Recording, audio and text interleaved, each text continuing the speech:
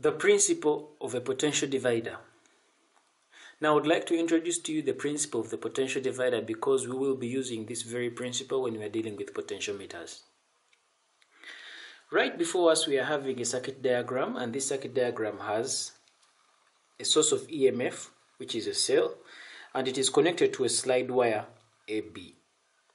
Now this slide wire AB has its length L and we are we are going to get ourselves also interested in a portion of that slide wire which we have called AP and that portion of that slide wire we are calling it length X.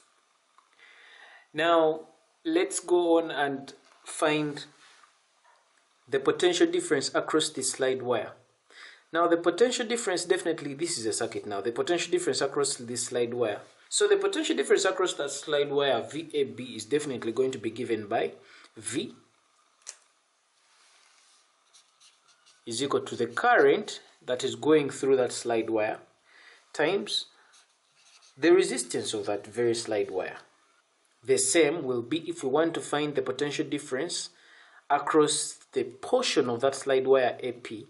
It means that it's going to be still V which is the potential difference across that portion of AP is going, going to be equal to the current that is going through that portion times the resistance from A to P. Now speaking of the resistance of this slide wire, we are going to use our formula for resistivity.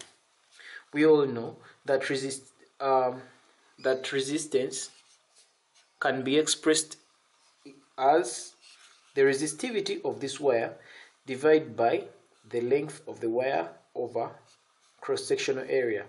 A is the cross-sectional area, L is the length of the wire, and this is the resistivity of the wire. If we are to use this value of this uh, this resistivity to substitute right there, this is how things will turn out to be.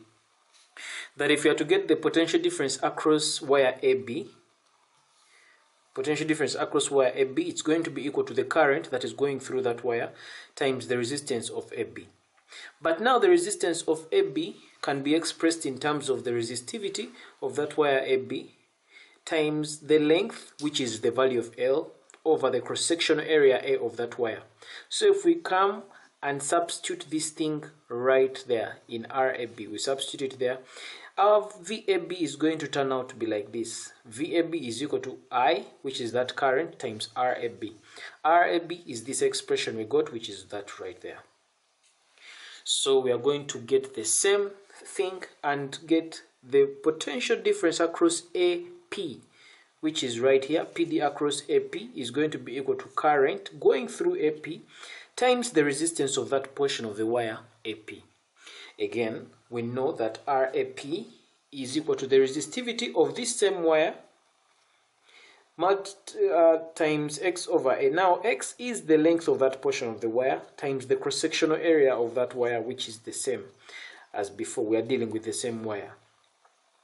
So it means that therefore the voltage or the potential difference across that portion of the wire AP is going to be the current times RAP, RAP being that expression that we are substituting there, that constitutes our second equation.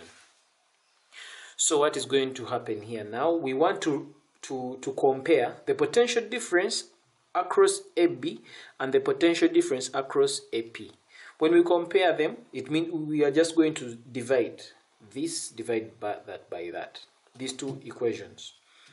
We shall divide them and we will end up with our expression. So when we divide uh, VAP is equal to I times that, divide that by VAB is equal to I times resistivity times L over A. When we divide those two, you will find that the current is the same. It's the same amount of current that is produced by this. So it means I and I are the same, so they will cancel out.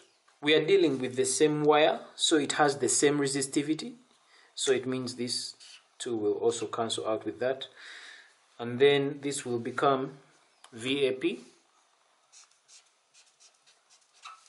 over the potential difference across AB is equal to X over A divide that by L over A of course this is going to end up being VAP over VAB giving us x over A times the reciprocal of this being A over L. This A and that A will cancel. VAP will over VAB is going to be equal to this will be giving us x over L. This is x over L. Now, if we are interested in finding a, the, the potential difference across the portion of this wire, which so happens to be VAP, that means we shall make VAP the subject of the formula. VAP is going to be equal to X over L, multiply that by VAB. Now, if you look at this expression, we find that X is the small portion divide that by the length of the whole wire. So meaning that this x over l in essence is trying to represent the fraction of that of the x this ap is the, it's a fraction of the whole wire. So it is the fraction of the wire we're talking about multiply that by the potential difference across the entire wire which so happens to be the emf of that wire vab so this expression shows us that the potential difference across a section of a wire is always proportional to the length of that wire. In other words, if the potential difference across this whole wire is 10 volts and this wire is 10 centimeters, it would mean that each centimeter of that wire is 1 volt. That's what we mean by saying that the potential difference across the section of the wire is directly proportional to the length of the wire. This also simply means that the longer the wire, the, the higher the potential difference across the portion of the wire that we have chosen. Now this principle is what we are calling the principle of the potential divider and this principle of the potential divider is exactly what we shall be employing when we are dealing with potentiometer circuits. This brings us to the end of this video. Thanks for watching. Feel free to check out other excellent videos on the channel and don't forget to subscribe. For Kisembo Academy, this is Arnold Rangakuramia helping you manifest excellence.